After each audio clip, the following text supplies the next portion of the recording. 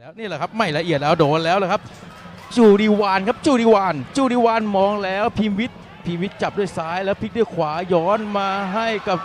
สันติธรแล้วเรียบร้อยครับสองประตูต่อศูนย์ครับมาสำหรับภูฟ้าครับทำประตูที่สองให้กับ มาดูจังหวะนี้ครับแหมพิมวิทย์ครับไหลไหลได้ดีครับมาให้กับทาง